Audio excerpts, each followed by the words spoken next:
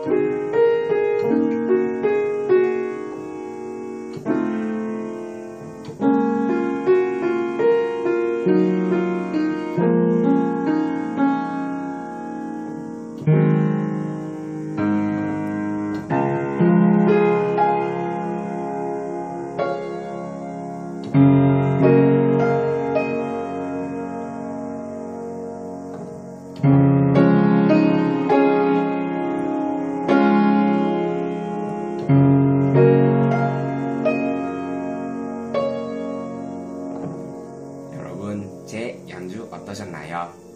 아직 많은 노력이 필요하지만 지금부터 열심히 하면 잘 칠 수 있겠죠?